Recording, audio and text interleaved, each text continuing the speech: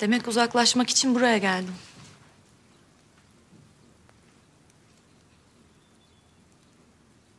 Oysa benim senden kaçmam gerek. Seni her gördüğümde canım yanıyor. O günden beri kalbimde paslı bir hançerle geziyorum sanki. Acısı geçmek bilmiyor. Söylediklerini düşünüp duruyorum.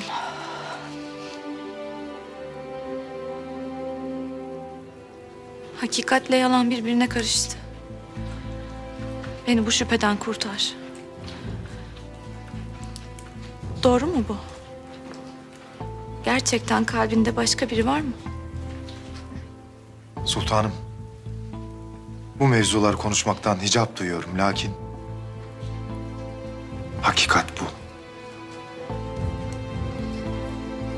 Kim? Kim peki? Söyle. Kim o kadın? Müsaadenizle. Ester mi?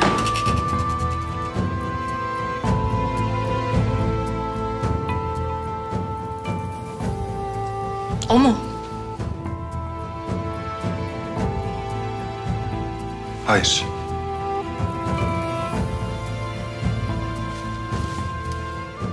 Yalan söylüyorsun değil mi? Beni kendinden uzaklaştırmak için yalan söylüyorsun.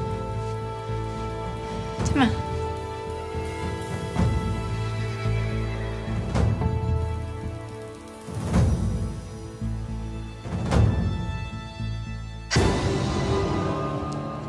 Silahtar.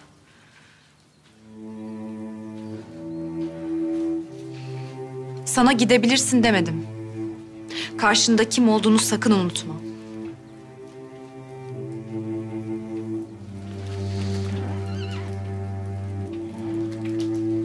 Bağışlayın sultanım.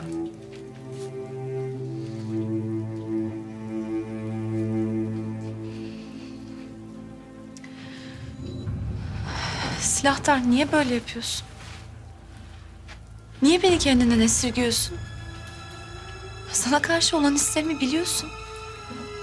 Dayanamıyorum anlamıyor musun? Kaç gündür huzurlu uyku uyumaya hasret kaldım. Atike. Ne işin var senin burada? Derhal dairene dön. Dairene dön dedim.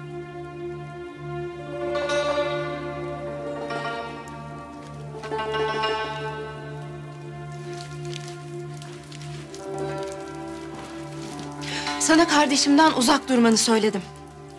Lakin görüyorum ki gizli saklı görüşmeye devam ediyorsun. Öyle mi? Zinhar.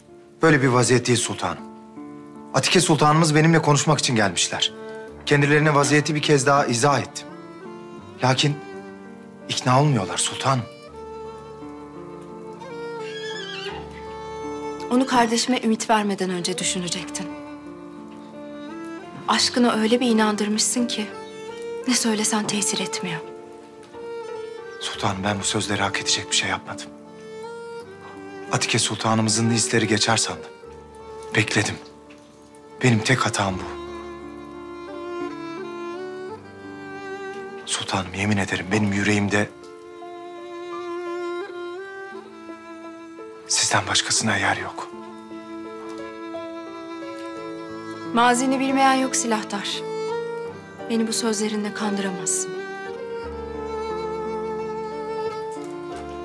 Doğru. Velhasıl...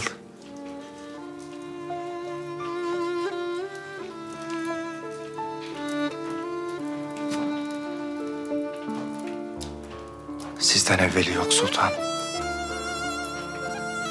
Benim hikayem sizinle başladı.